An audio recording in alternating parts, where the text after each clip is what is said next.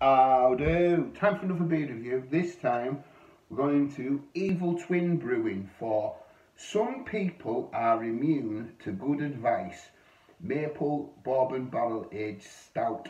It's coming in at 10.7%. We've got a big bottle, look at that. And um, this was a present for my birthday back in October. Um, one of my best mates, Steve Kenyon, bought me it. So cheers again, mate, for getting me this. Um, greatly appreciated.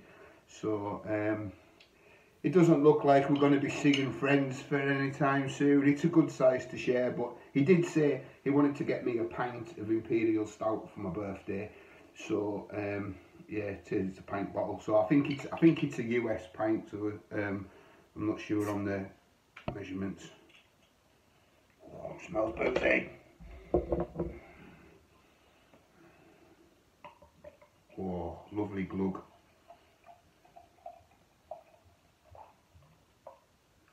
Oh, right.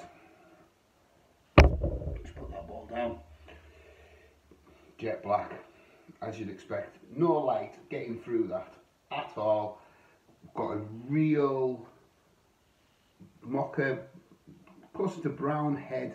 The head, it looks creamy, but it's going, it's going. Um, I'll give it a little wiggle, see if I can get it back. But no, it's, um, I don't think it's going to have much, uh, it's got slight legs on it. Let's get the nose. Oh, it smells absolutely beautiful.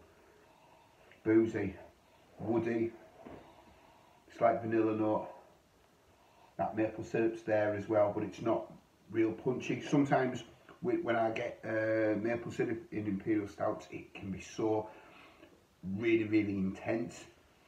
It smells so. There's a hint of chocolate there. This smells the part. This smells the part. Really, really good on the nose. Really, really encouraging before I've gone in. Um, it looks like it's got a cracking body on it on the eye. Right, let's dive in. Cheers, everybody. Cheers again, Steve. Cheers, mate.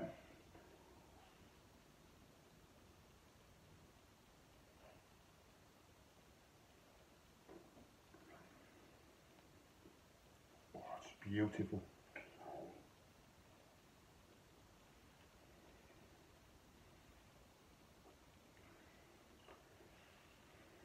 It's got a real thick mouthfeel. You get him up front, you're getting the barrel aging. It's boozy. You can tell you're drinking a strong beer. In fact, I would have thought it was maybe slightly stronger than, than 10.3. Is that 10.7? Sorry. Um, up front you're getting booze, you're getting a hint of the bourbon, um, you're getting the vanilla notes off it and the woodiness, there's a little nutty note to it.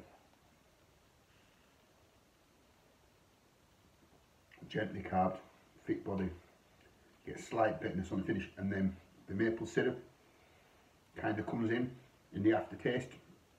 It's not an intense maple syrup, it's just a slight maple syrup, but it's just enough for you to know it's there without it becoming overpowering. For me, it's perfectly balanced. It's exactly the right level of maple syrup for me. There's chocolate notes in it. It's beautiful. Beautiful beer. Really good. And I'm just glad that it's in a really big bottle and it's locked down and my wife doesn't like imperial stouts. Because it's all for me. Yeah really really nice. Um, my favourite features of it are probably the body um, and the maple syrup in the aftertaste. I do like I just think everything is just so like subtle and it just makes it really nice. The fact you've got this subtle bourbon feeling like it, it smells boozy, but it doesn't feel like it's overly boozy. Um, I just think it's so well balanced for a, a beer if it's ABV. Um, yes, so I am going to recommend it. As I say, it was a present, so um, I've got an idea where he got it. I'm guessing Trembling Madness, but um, if you see it about, get it, because it, it's a cracker. Um, really good for a bottle share. So that is some people are immune to good advice.